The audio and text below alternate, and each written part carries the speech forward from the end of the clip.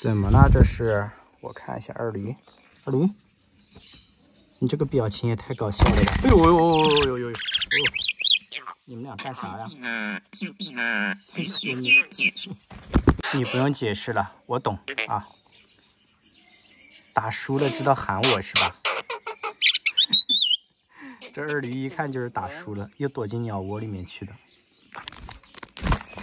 你今天也太没公德心了，抢二驴的鸟窝也就算了，把它给打飞了，飞到对面去了。二驴真的是被迫离家出走啊！贝贝也没有打他，他吓到了。来接二驴的时候，在地上还捡个鸟窝，空的，在哪里啊？又没反应呢。这里面还要小心一点。哎，飞了，飞了，飞回去了。耍我吧！哟，又飞来了一只喜鹊，是听到我说话过来了。这几只喜鹊都放了，走吧。这一个个的都盯着我嘞，不盯在路口等我。走吧，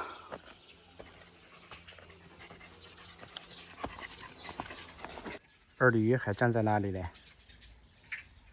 不过他认家的能力我一点都不担心，特别强，这附近基本上丢不了。终于飞回来了，你好。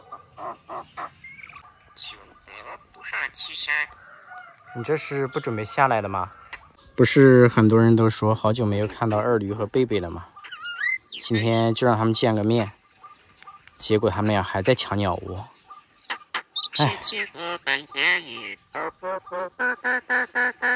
这两只公鸟抢鸟窝都抢了好多年了。快上车，没时间解释了。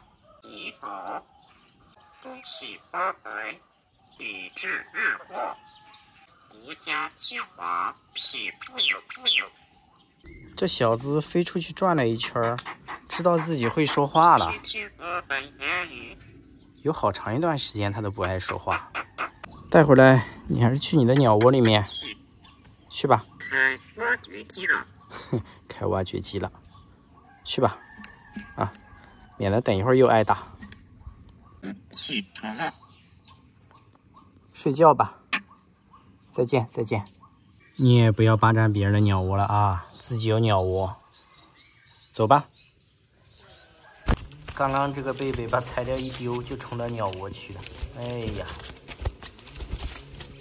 哎，又开始了。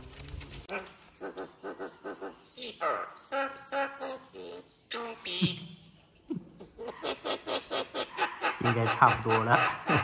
这个方法挺好的，也打不到。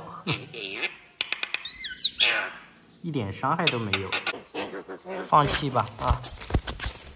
有啥意思的这样？爪子是焊在这里的吗？来分开，打又打不到，哎呀，有啥意思的？你这样，这咬我手都没用，咬也咬不到，抓的好紧啊！你是锤，我是。大爷，谢谢。就这样和平结束，挺好的。嗯，把贝贝都气死了，没欺负到二驴。洗个澡吧，这么热的天。好，今天就这样。等一会儿带贝贝出去溜达一圈，看一下能不能捡到鸟。每天都要出去。